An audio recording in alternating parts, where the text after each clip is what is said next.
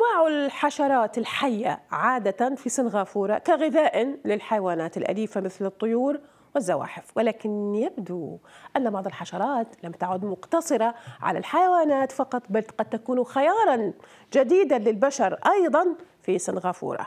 ما يطرح العديد من الأسئلة فما هل يتعلق الأمر بالقيمة الغذائية التي تحتوي عليها بعض الحشرات أم يتعلق بندرة الطعام والأزمة الاقتصادية عموما؟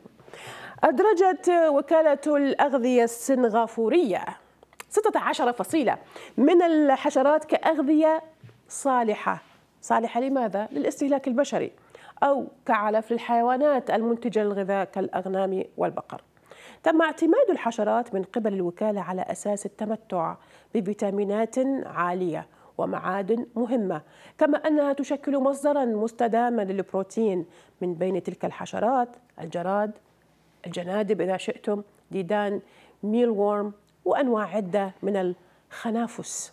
واشترطت الوكالة على البائعين وجوب إظهار دليل موثق بأن الحشرات تستزرع في أماكن تنظمها الجهة المختصة ولا يمكن حصاد الحشرات من أي مكان في البرية.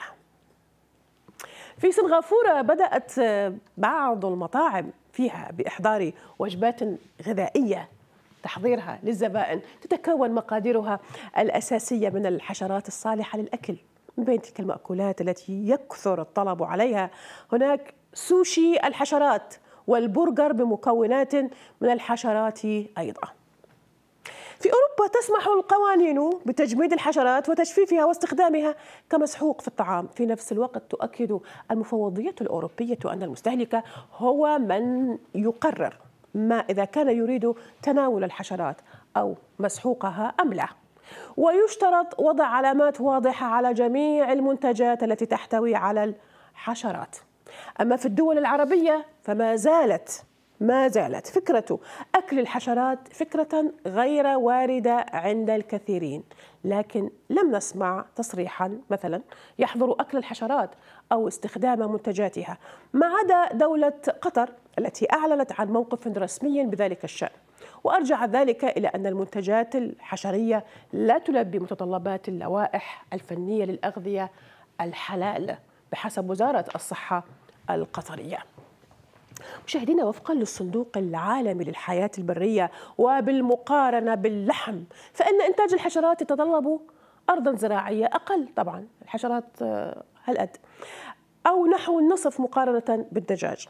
حيث تحتاج الحشرات نحو واحد على 12 آه، من حجم آه، الغذاء الذي تحتاجه الماشية لإنتاج نفس كمية البروتين وفقا لمنظمة الأغذية والزراعة للأمم المتحدة الفاو. كما أن الحشرات تسفر عن إطلاق كميات أقل من الانبعاثات الغازية كما يمكن أن توفر الحشرات الصالحة للأكل أيضا سبل العيش والدخل بما أن تربية الحشرات تتطلب مساحة صغيرة. فمن الممكن تربيتها في المناطق الحضرية والريفية على على حد السواء سواء ربما حتى على السطح. العم سام يقول العام يقول في هذه التدوينة الفواكه والخضروات أصبحت خطيرة لاحتوائها على حشرات والحشرات أصبحت صالحة للأكل لأنها تحتوي على بروتينات.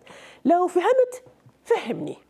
أما نوني نوني يقول يوجد حشرات صالحة للأكل والأسباب عدم أكلها لها هي هنا هي أسباب ثقافية وتربوية بالأساس وليست لأنها صالحة أم لا.